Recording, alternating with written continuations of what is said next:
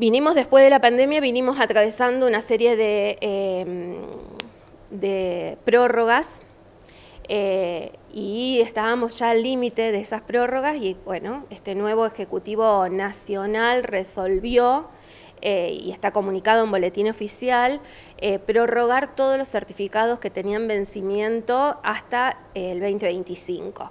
Eso da un respiro a las personas que tenían que hacer las renovaciones o las actualizaciones, porque mucho se habló de que los certificados no se vencen, y en realidad los, los certificados tienen que ser renovados cada 10 años como máximo.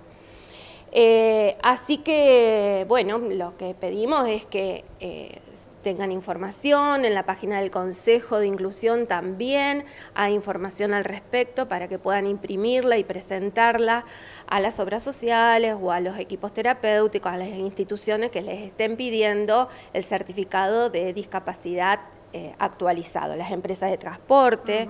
Em, así que sí, se están tomando en el hospital todos los casos, pero le estamos dando la prioridad a aquellos que son de primera vez. Bien, y por lo pronto entonces eh, pueden eh, eh, utilizar el que tenían durante este año. Así es.